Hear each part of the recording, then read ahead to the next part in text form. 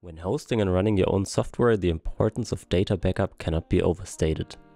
Today we explore the crucial aspects of data backup and the often overlooked necessity of testing the restore process.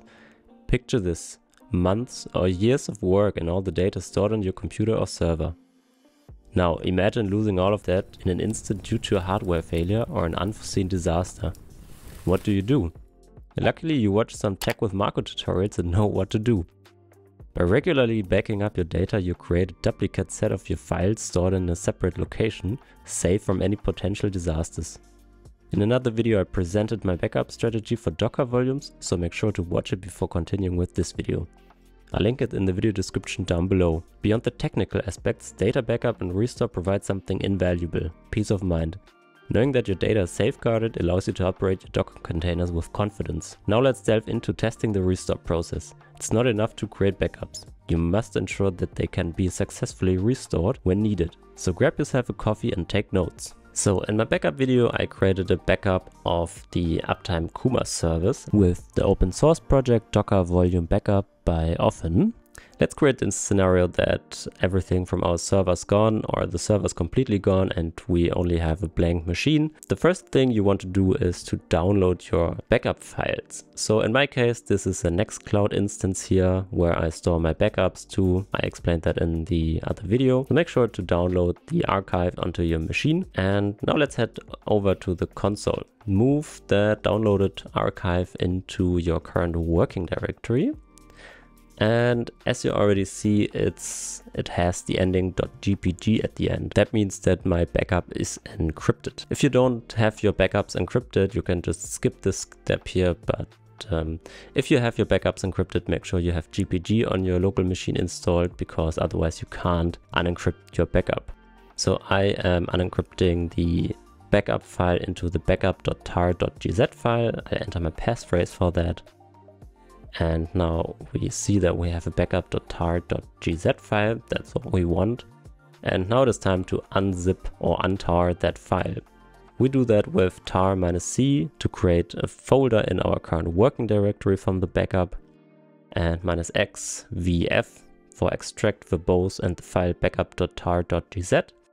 And as you see, we have some files extracted here. Let's check and go to backup and the Uptime Kuma backup folder. And we see in those two folders, we have our data we want to restore. What we want to do now is uh, to create a local Docker volume. And I just list my local volumes here, so there is no volume available. Now we make use of a Docker base image, and that one is Alpine. And we just start the Docker Alpine container and we create a volume in that with the name uptime minus Kuma. That is now important that this name has to match your existing volume from your previous Docker Compose file, for example. And in my case, that was uptime minus Kuma. And as you can see, I type uptime underscore Kuma. That's a small mistake I made here. Uh, I'll correct that later in the video. But those are the small details you need to uh, pay attention to. After we've created the Docker container here, we see that we have our uptime underscore Kuma volume here and that is empty, so no data to display. And now it's time to fill that volume with our backed up data. And we do that with the command docker cp.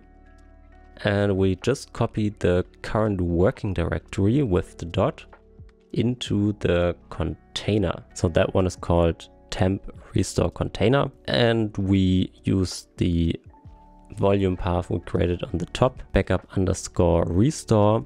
And now you can see that we have successfully copied 512 megabytes of data into the container. And let's inspect the Uptime Kuma volume again. Uh, we see that we have now files in the volume and that's all we want.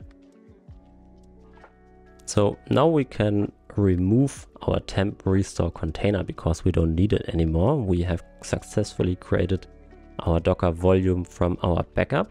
Now it's time to use that freshly built volume in our existing Docker Compose file. Um, you can see here that we have the driver local specified. We need to change that uh, line into external equals true because the Docker volume now is an external volume. And now I try to start the Docker compose file here, but as you can see, the small mistake I made, it is actually named uptime minus Kuma and not uptime underscore Kuma. I just realized that mistake uh, right now and fixing that one, but that's life of a software engineer or DevOps engineer all those small mistakes uh, can happen all the time and they keep you from being productive, but um, quick fix. And let's start the Docker Compose file. And now it is starting correctly. And now I'm expected to log in with my previous user from my backup. And that just works. So I don't have to create a new user here at Uptime Kuma. That's the standard behavior if you start a freshly new container. And I have all my data of the history of my services I track Easy as that, you have your backup restored. As I already mentioned, it is quite important to pay attention to all the small details. Um, and the restore process could be quite individually because um, depending on what folders you mount into what kind of volumes, um, you have to figure that out for yourself. You can leave me a comment if you successfully have restored your data on your local machine, for example, to test the process. That is quite important to do that every now and then to make sure that your backups are still working and in a disaster case that you are able to restore and have all your data back in place. Hey everybody, first of all, thanks for watching this video until the end.